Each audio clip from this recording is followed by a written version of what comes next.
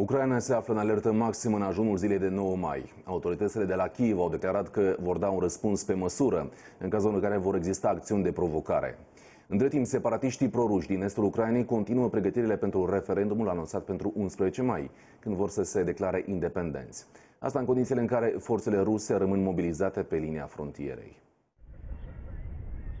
Oficialii ucraineni au declarat că vor lua decizii dure în cazul în care vor exista acțiuni de provocare din partea militanților pro-ruși în ziua de 9 mai. Aceștia i-au îndemnat pe activiștii pro-europeni de la Kiev să nu se implice și să le ofere agenților de securitate posibilitatea de a-și face meseria. Într-o vizită la o bază militară ucraineană de lângă Slaviansk, premierul Ucrainei Arsenie Iațeniuc a promis condiții mai bune armate, declarând că astfel va fi garantată victoria împotriva amenințărilor ruse. Окремо хочу зазначити про матеріальне забезпечення Країні біда. Все, що можна було розкрасти, вони розкрали.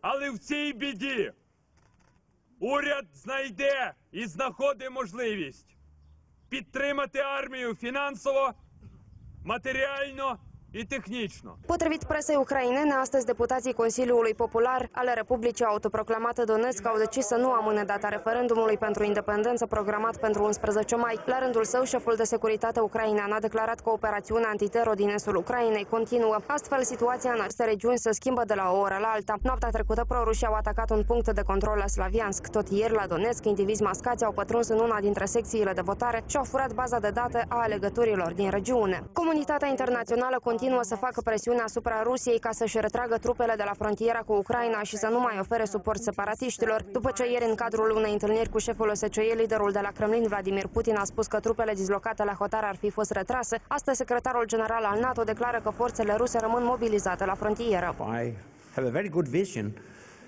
um, but I have to repeat that while we have noted the Russian statement that they have started to withdraw troops.